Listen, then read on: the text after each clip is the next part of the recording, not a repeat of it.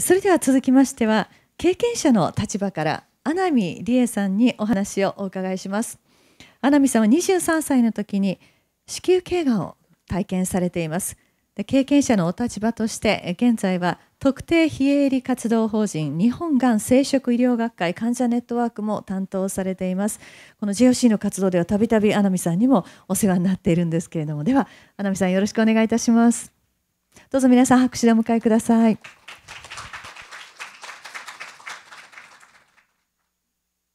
えー、皆さんはじめましてアナミと申しますよろしくお願いします、えー、今日はえーまあ、がんと妊用性のところに関して患者の立場ということで、えー、お話をさせていただきますけれどもがんに関する情報って少ししか出てきません。えー、なので、えっと、今日チラシの中にですねうちの学会のあの動画をのそうですね、あの動画をアップしましたのでそちらのチラシを入れさせていただいています。でそちらの方にはかなりあの医学的な情報とか、えー、個人的な体験談のスピーチなどを、えー、動画で配信していますのでそちらの方をごご覧いただければと思います。すいません。ちょっと字がずれてしまってますが、えー、私は東大阪市で、えー、生まれましてで21歳の時に就職で関東に出ました。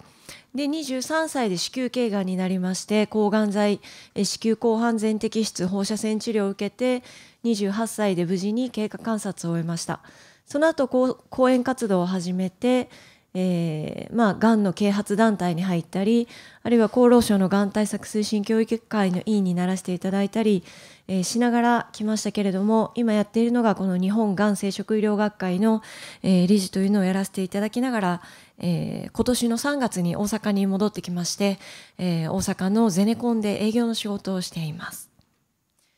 で私が今日お話しさせていただくのは、えー、私が23歳でがんを経験し35歳まで今35歳になったんですけれども35歳まで生きてきて思うこといろいろな課題は全てつながっているっていうことに気づいたんです。この12年間ですね。例えば今日お話しする妊娠出産これに関して私は妊娠出産がしたいと思ってもそれだけを、えー、解決するというのは難しいんですね。なぜかというと、いろんな問題が絡んできます。それは妊娠出産できないことによって恋愛に困ったり結婚に悩んだり、えー、あるいは経済的な問題も、えー、その妊娠出産するためには、えー、解決していかなければならない。それから自分の体の問題、え子供が産める状況にあるのかどうかとか、えそれから、え日々進歩していく医療がどれほど追いついてくれているのかとか、それから社会の問題。例えば私の場合は、えー、子宮を取ってしまっていますが、卵巣を残しているんですね。でもこの卵巣を使って、その中の卵子を取って体外受精をして代理出産をするということが、えー、日本国内では認められていない倫理的な問題です。で、そういった問題に直面した時に医学は進歩していてもそれをできないというようなその社会との関係もあります。それから家族の問題ということで、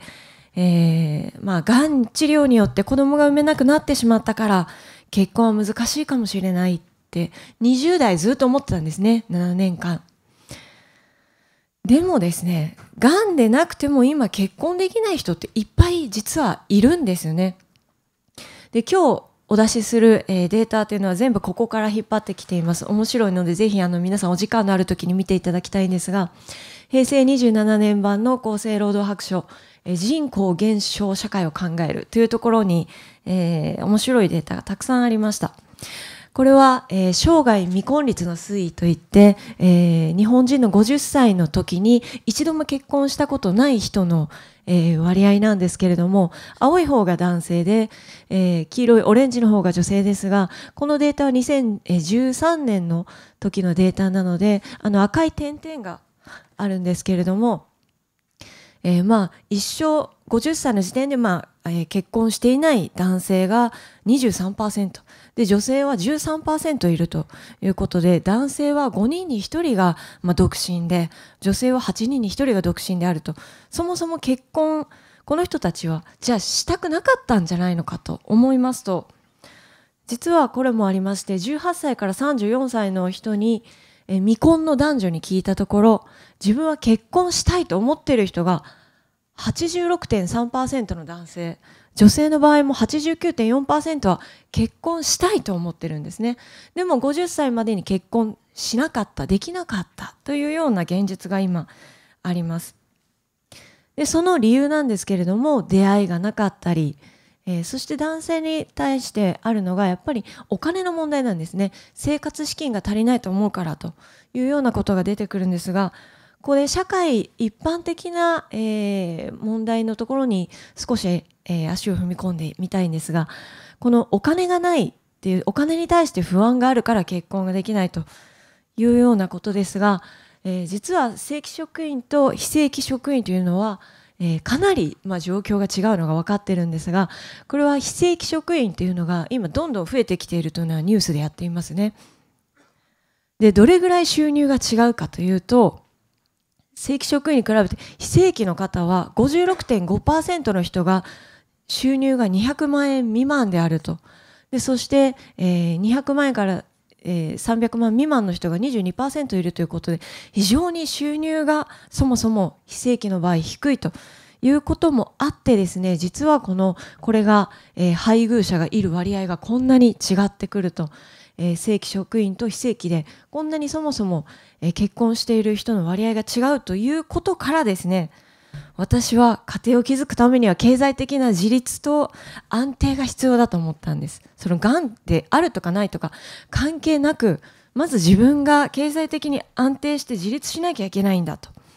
思ったわけです。で私がなぜ今大阪にいてゼネコンで働いているかと言いますと今年の3月まで講演活動で生活をしてました。ででも結婚したいという思いはずっとあったんです。結婚したい。でもそのためには私はちゃんと自分で自立して生活できるようにならなければと。講演活動って水商売みたいなもんで今月たくさんあれば次の月すごい少なかったりとか。そんな生活なんですね。で全然そんな安定したあの生活なんてできないんですけれどもまず正社員になるって考えた時に自分は後遺症があるからとか自分ががんになったから今も病院に通ってるからとかだから正社員になれないんじゃないかと思っていた自分がいたんです。で、それに対して本当にそうだろうか？っていうことをまず考えたんです。私はちゃんと自分で動いて当たって当たってダメでダメで本当にダメだって言ってるんだろうか？じゃあちゃんと自分で頑張ってみようよということで、えーできることとできないことをする知るということ自分は後遺症があるだからこういう立ちっぱなしの仕事はできません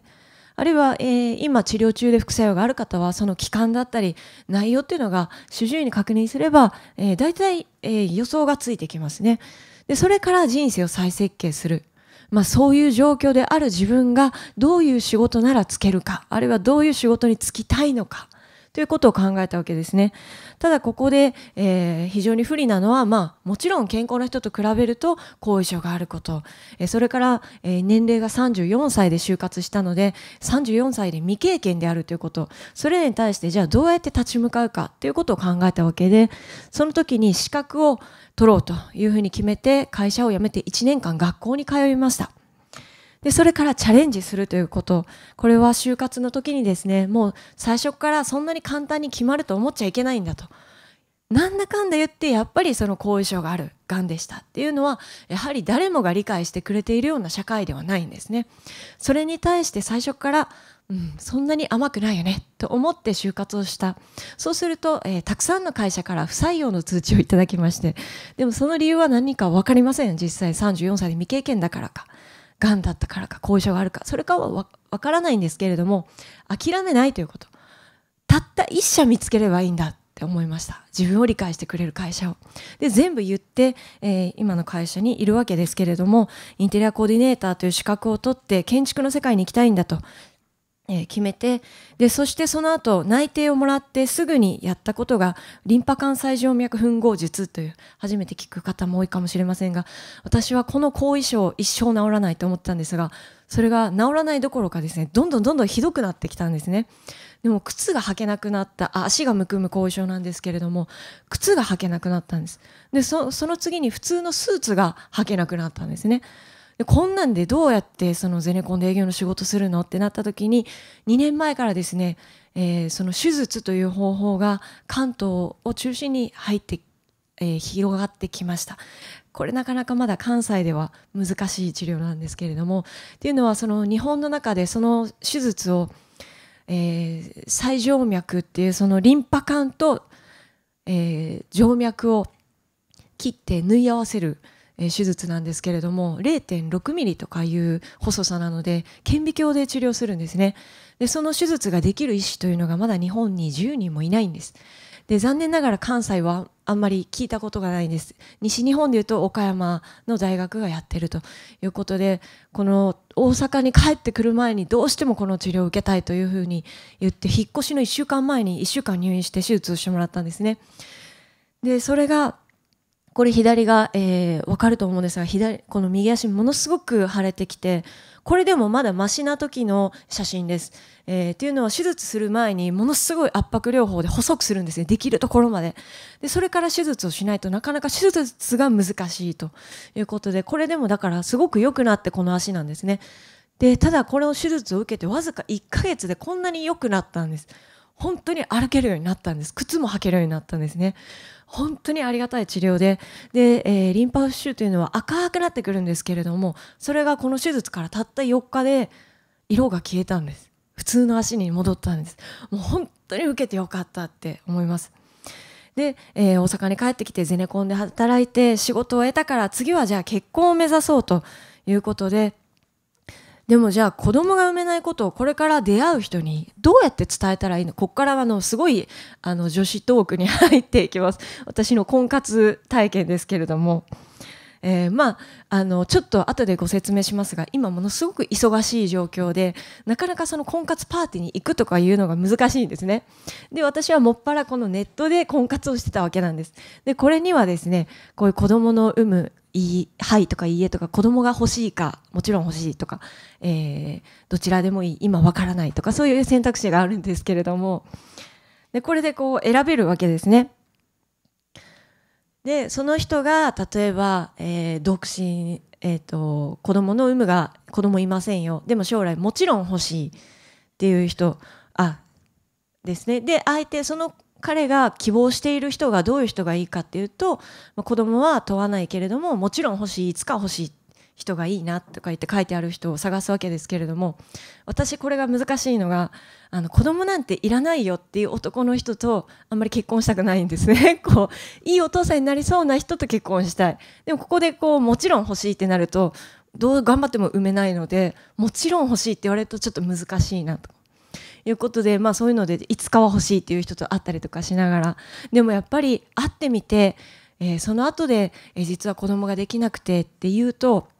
すごくこう何人か断られたんですねやっぱり。どうしてもあの人はすごく好きだけどどうしてもその自分が子供を持てないっていうことを今諦めきれない。っていうふうに言われてもう私もその気持ちがすごくよくわかるので分かりましたって言ってまあ何回かダメだったことがあるんですけれどもそもそも、え子供が欲しいと思う人の割合っていうのをこれもあのさっきのデータにあるんですが、えー、男性の場合でも女性の場合でもやっぱり多くの人が子供が欲しいって思ってるんですね。でも婚活してる人って実は結構年齢上なんですよ。で実際に子供が欲しいえー、人でもなかなか妊娠出産できない現実があるんだっていうことを私は勉強して学んでいったわけですね。で子供を産むとすれば1人目を産むまでに何歳何歳までに1人目を産めばいいかあなたは知っていますかっていう調査をした時に、えー、まあ20から25歳未満って答えた人が9.8%いて20歳から30歳未満って答えた人が41.9%いた。でもこの30から35歳未満ってちょっとやっぱりちょっと妊娠が難しくなってくる年齢ではあるんですね。でもそれまで35歳までに産んでも大丈夫だろうと思ってる人も結構いるんだということも分かりました。で実際にですねその不妊治療に関してこの2010年のデータを見ていただきたいんですが治療中あるいは、えー、過去治療経験があり不妊治療をしたという方合わせるとですねこれが16.4%いるんですねつまり今、えー、独身の、えー、初婚同士の夫婦のうち7組に1組が不妊治療をしているしていたという方々なんです。ということはそのがんであって子供が産めないどうこうでもなくそもそもこの妊娠出産が難しい人たちがそんなにたくさん今日本にいるっていうことなんですよね。それにちょっと気持ちが救われたんです。でそれからえー、実際に流産をする人の割合というのも、えー、流産あるいは死産を経験したことのある夫婦というのが全体のその夫婦の中で16.1%もいたんだということも知ったんですね。でこれを知って思ったことは私はその卵子を残しているので海外で代理代理出産で子供を持てるっていうふうに思った時期があるんですけれどもでもそもそも出産というのがどれほど危険なことであってそれを他人に任せるべきなんだろうかっていうふうにすごく考えたんですね。でその結果、えー、私は違う選択肢を選んだわけなんですが、えー、でもそれでも難しいと言っている中がんでも妊娠出産できた人もいますでこれは皆さんにお配りしたチラシの中に、えー、ご紹介していますが赤坂さんという乳がんの方閉経って言われたけれどもこの人実は卵子を2つだけ凍結していてその2つの卵子で今回妊娠出産でできてすごくニュースになった方です。でこういった方も中にはいる。だから閉経だって言われて、えー、可能性がゼロになるわけでもない。きっとその中にはわずかでも可能性はあるんだ。っていうことも現実なんですね。で、えー、結局私の対象として考えているのがですね離婚経験があって子供がいる人なのかあるいは、えー、特別養子縁組でもいいと思ってくれる人。で将来、まあ、夫婦2人で生きていってもいいんじゃないかって思っているこのこういう人を探そうと思ったわけですが、えー、特別養子縁組の勉強していくとですね、えー、今こっちの方も実は特別養子縁組を斡旋している団体たちがものすごくしてほしくて、えー、活動を、え、盛んにしていますというのもこの先進国の中で、え、4万7千人の子どもたちが施設で暮らしているそれは日本だけなんだと。でこの子たちは18歳まで施設を出るまで家庭で育つという経験をしてないんです。でそういった子どもたちですけれどもこのだ、えー、こういう斡旋する団体がですね、えー、もっともっと特別養子縁組をしていかなきゃいけない。今まで何で広がってこなかったか。その理由は特別養子縁組を支える制度や法律が整備されていなかったんだ。ということでこの間日本子ども縁組という団体を立ち上げて、えー、今政治家を動かそうとしている。でそうなってくるともっとがん患者さんたちも特別養子縁組をしやすくなってくる。ということになります。でがんでなくても、えー、時間は過ぎていく。これ何が言いたいかと言いますと私は自分のことばっかり頑張ったんですね、えー、仕事も手に入れた次は婚活だって頑張っている間時間っていうのは過ぎていく。そうすると、えー、家族ががんになっていく 年代に入ってくるんですね。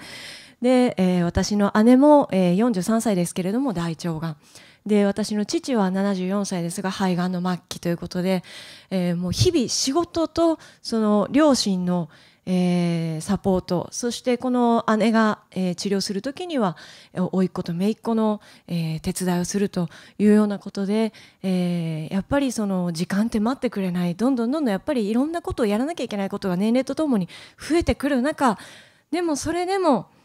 えー、癌でもあってもなくても結局人生設計が必要なんだというところを、えー、私はこの、えー、12年間で感じたわけです。でその中で、えー、癌になって私は癌だからしんどいんだとかがんだからこんなに辛い思いをするんだって思ってたことがたくさんあったんですね。でも社会に目を向けてみれば実はがんでなくても起こっている悩みなのかもしれないと思うとちょっとその悩みの苦しさが軽くなったんです。でそして解決方法も見えてくる。ということ。だから皆さんもぜひそのがんっていうものにあまりにこう縛りつけられないでもうちょっと広い視野で、えー、他の人はじゃあどうしてるのかなとか不妊治療してる人はどうしているのかなとか、まあ、そういった視点で、えー、世の中を見ていくっていうことを、えー、ぜひ、えー、少しやってみていただきたいなと思います。以上で私の講演終わります。ありがとうございました。